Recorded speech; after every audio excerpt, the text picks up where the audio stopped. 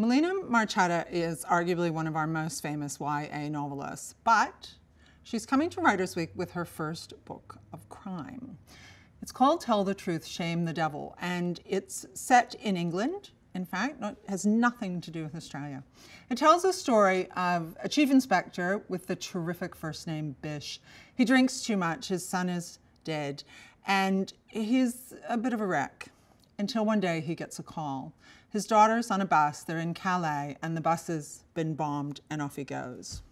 Also on the bus with his daughter is a young woman who whose grandfather had committed a crime some years ago, and she has been, in a sense, hiding away from her own reputation.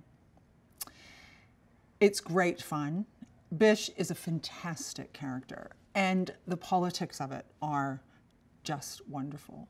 The intrigue, of course, is around the, the ideas and issues around terrorism and identity. But what's fun about it is the intrigue and the characters and the ways in which these kids continue to give Bish the slip. I think Marchetta's certainly got another career here about to take off as a crime writer. Although, I mean, on behalf of a nation, I have to say maybe there could be a little more YA too.